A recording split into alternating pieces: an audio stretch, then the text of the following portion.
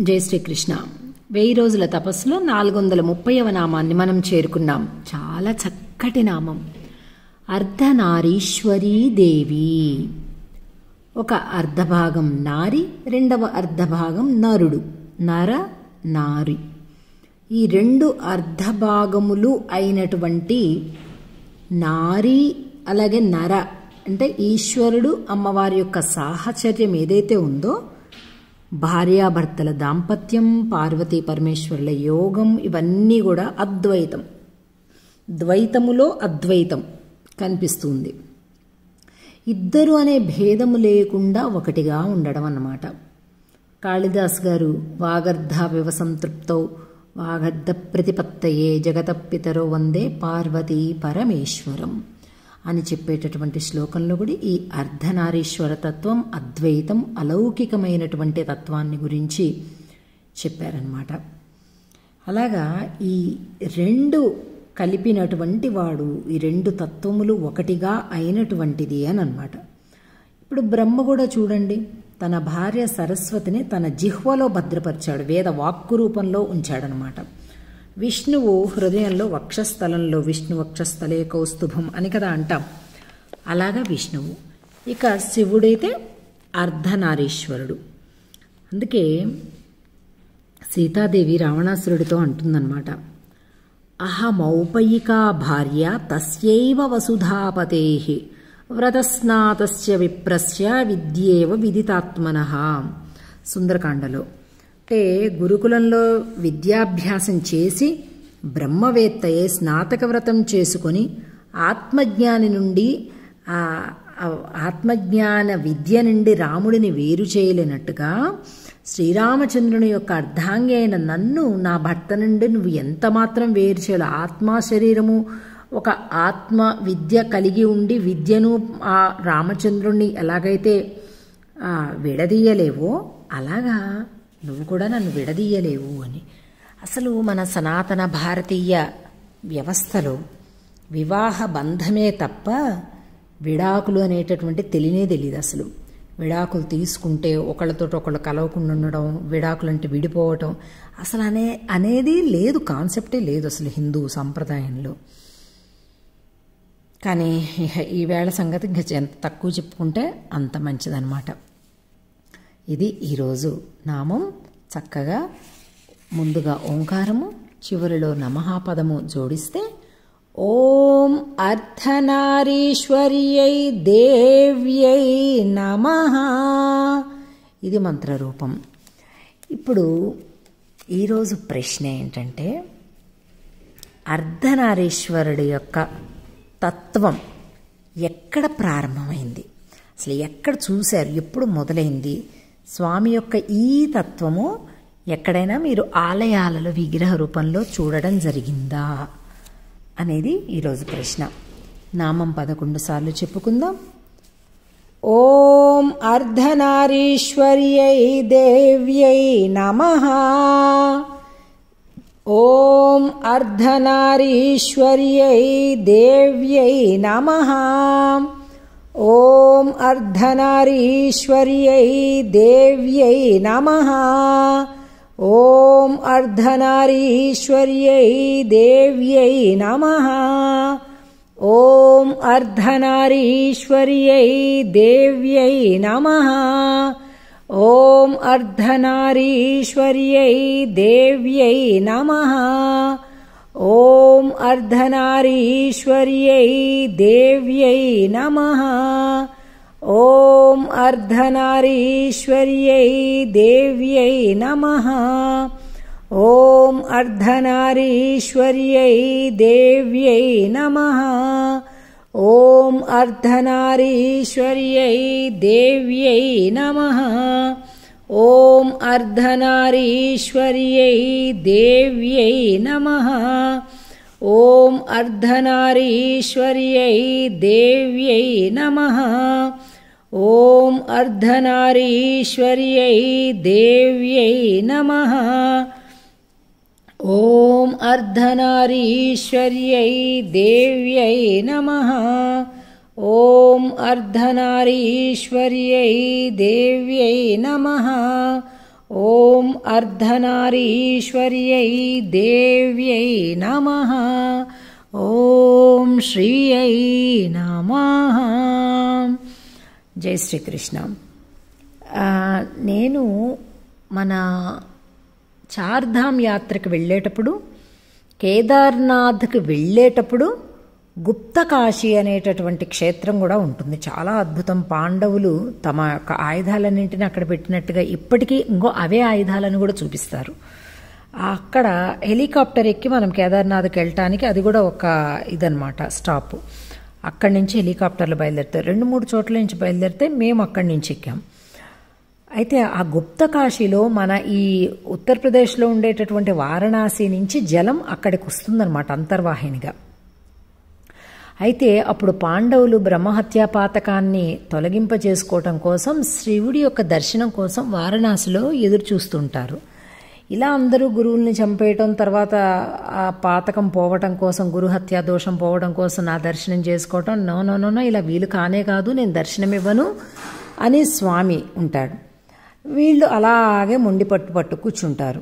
మాకు దర్శనం కావాల్సిందే అని. ఇలాంటప్పుడు శివుడు ఏం చేస్తాడట? అంతర్వాహినిగా లోపల నుంచి తన యొక్క స్థానమైనటువంటి కేదార్నాథ్కి హిమాలయాలకు వెళ్ళిపోతుంటాడు. వెళ్ళిపోతూ మధ్యలో గుప్తకాశీ దగ్గరకు వస్తారు ఆయన అక్కడికి వెళ్ళాడని వీళ్ళు గమనించి వీళ్ళు కూడా అక్కడికి వెళ్ళిపోయి తిష్ట వేసుకొని మాకు ఎలాగైనా సరే దర్శనం ఇవ్వాల్సిందే అని వీళ్ళు కూర్చుంటారు. అలాంటప్పుడు పార్వతీదేవి ఏమండి పాపం దర్శనం ఇవ్వచ్చు కదండి దోషం పోతుంది కదండి అని స్వామిని బతిమలాడుతుంది.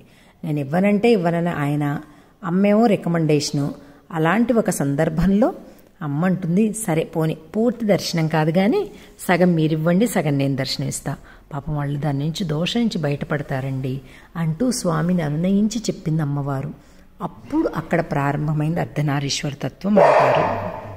చరిత్ర ఇప్పుడు వీరుల గురించే మాట్లాడుతుంది. ఛత్రపతి శివాజీ కొడుగ్గా పుట్టినందుకు అతని నాలుకను తెగ్గోశారు. చర్మాన్ని ఒలిచారు. శరీర భాగాలను ముక్కలు ముక్కలుగా నరికి కుక్కలకు ఆహారంగా వేశారు. చరిత్ర అతి తక్కువగా మాట్లాడిన ఆ వీరుని గురించి మనం తెలుసుకోవాలి. హిందుత్వాన్ని కాపాడడానికి పుట్టిన ఒకానొక భరతమాత ముద్దు బిడ్డ గురించి తెలుసుకోవాలి. శంభాజీ బౌన్స్లే ఛత్రపతి శివాజీ పెద్ద కొడుకు. అమ్మ పేరు సాయిబాయి. శంభాజీ అతి చిన్న వయసులోనే తల్లి ప్రేమను కోల్పోతాడు. మొఘల్ రాజు ఔరంగజేబ్ శాంతి ఒప్పందాలకని శివాజీ అతని తొమ్మిదేళ్ళ కుమారుడైన శంభాజీని ఆగ్రాకి పిలిచి వారు అక్కడికి రాగానే వారిని అవమానించి బంధిస్తాడు. అక్కడ నుండి ఎలాగోలా పెద్ద మిఠాయిల బుట్టల్లో పైన మిఠాయిలు పెట్టి వాటి కింద దాక్కుని తప్పించుకొని బయటపడతారు. పేష్వాల పన్నాగాల వల్ల తండ్రిని ఆకరిచూపు కూడా చూసుకోలేకపోతాడు శంభాజీ. శంభాజీ రాజుగా పట్టాభిషిక్తుడైనప్పటికీ సౌత్ తల్లి విషమిచ్చి చంపడానికి ప్రయత్నిస్తుంది. కానీ ఎలాగోలా బయటపడతాడు శంభాజీ. శంభాజీ తన తండ్రిలాగా కొండల మధ్యలో తక్కువ మంది సైన్యంతో ఎక్కువ మందిని మట్టుపెట్టి గెరిల్లా టాక్టిక్స్ ఉపయోగిస్తూ మొఘలులకి తొమ్మిది సంవత్సరాల పాటు చుక్కలు చూపిస్తాడు. అలా ఆయన చేసిన మూడు వందల డెబ్బై రెండు యుద్ధాలలో ఒక్క యుద్ధంలో కూడా శంభాజీ ఓడిపోలేదని చెప్తుంటారు. చివరిగా శంభాజీ సంగమేశ్వర దగ్గర తన నమ్మకస్తులైన అనుచరుల్ని కలవడానికి అతి తక్కువ మంది సైన్యంతో రహస్యంగా వెళ్తాడు. శంభాజీ తన సొంత బావైన గనోజీ సిరిక్ శత్రువులతో చేతులు కలిపి మోసపూరితంగా ఆ విషయాన్ని ఔరంగజేబ్కి చేరవేస్తాడు. దాంతో ఒక్కసారిగా వేల మంది మొఘల్ సైన్యం శంభాజీని చుట్టుముట్టేస్తాయి. ఆ సమయంలో శంభాజీ అలానే తన స్నేహితుడు సలహాదారుడైన కవి కలాష్ కూడా బందీలుగా చిక్కుతారు. ఔరంగజేబ్ ఎంత క్రూరుడంటే సింహాసనం కోసం తన తండ్రైన షాజహాన్ని జైల్లో బంధిస్తాడు. సొంత సోదరులను కూడా చూడకుండా వారిని చంపేస్తాడు. అటువంటి ఔరంగజేబ్ శంభాజీ దగ్గరికి వెళ్ళి నా రెండు షరత్తులకి నువ్వు ఒప్పుకుంటే నిన్ను ఇప్పుడే వదిలేస్తా. అందులో ఒకటవది ప్రజల కోసం దాచిన సంపదనంతా నాకిచ్చేయాలి. ఛత్రపతి శంభాజీ ఇస్లాం మతంలోకి మారాలని తన రెండవ షరతును చెప్తాడు. బదులుగా శంభాజీ నన్ను మీరు వెయ్యి సార్లు చంపిన వెయ్యి మంది శంభాజీలు పుట్టుకొని వస్తారు అని అంటాడు. ఇక మొఘల్ సైన్యం చంబాజీని ఇనప సంఖ్యలతో బంధించి వేలాడదీసి హింసిస్తారు. తాగడానికి గుక్కడి నీళ్ళు కాని పట్టెడు అన్నాన్ని కాని ఆయనకు పెట్టలేదు. మొదట పట్టకాలతో గోలను పట్టుకొని పీకేస్తారు. ఆ తర్వాత రోజు మళ్ళీ అవకాశమిస్తూ ఇస్లాం మతంలోకి మారితేనే బ్రతుకుతావు. లేదంటే చావు తథ్యమని హెచ్చరించారు. రక్తాలు కారుతున్న శంబాజీ అందుకు ఒప్పుకోలేదు. తర్వాత రోజు చేతి వేళ్ళను కత్తిరించి కుక్కలకు గద్దలకు ఆహారంగా పడేస్తారు. ఆ తర్వాత రోజు చెవులను కత్తిరిస్తూ వచ్చారు. ఆ బాధలన్నింటినీ భరిస్తూ వచ్చాడు. శంభాజీ ప్రాణభయంతో అడుక్కుంటే వినాలని ఔరంగజేబ్ ప్రతిరోజు అతని దగ్గరికి వచ్చి ప్రజలకి వరాలిచ్చేవాడివట కదా. ఇప్పుడు నేను నీకు వరమిస్తున్నాను. నువ్వు ప్రాణాలతో బ్రతకాలి అంటే నేను చెప్పిన షరతులకు ఒప్పుకో అని ఔరంగజేబ్ అనేవాడు. కాని శంభాజీ కళల్లో పౌరుషం నాలుకపై జగదాంబ అన్న పలుకులు తప్ప మరే పదం రావడం లేదు.